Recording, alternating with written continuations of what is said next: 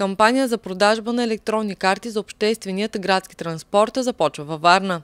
За удобство на гражданите ще бъдат отворени две гишета с работно време от 9 до 18 часа от понеделник до петък включително. Там гражданите могат да си купят някои от следните продукти.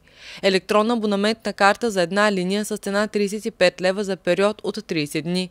Електронна абонаментна карта за всички линии с цена 50 лева за период от 30 дни, както и предплатена електронна карта с 11 12 часа време пътуване с цена 10 лева.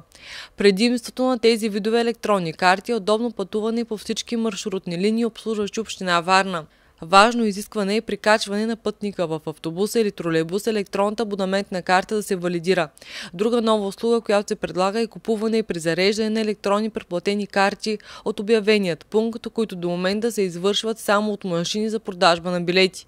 За учениците също ще се предлагат електронни абонаментни карти за месец юли на цена от 15 лева за период от 30 дни, които ще въжат за всички линии на градския транспорт.